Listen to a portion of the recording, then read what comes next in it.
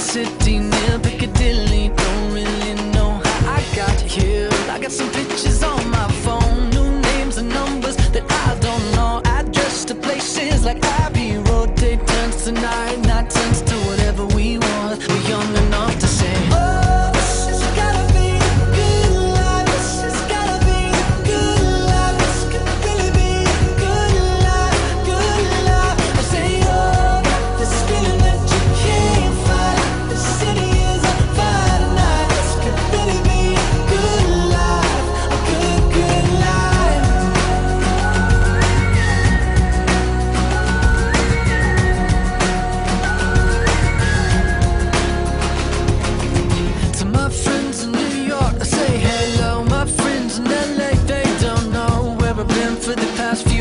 so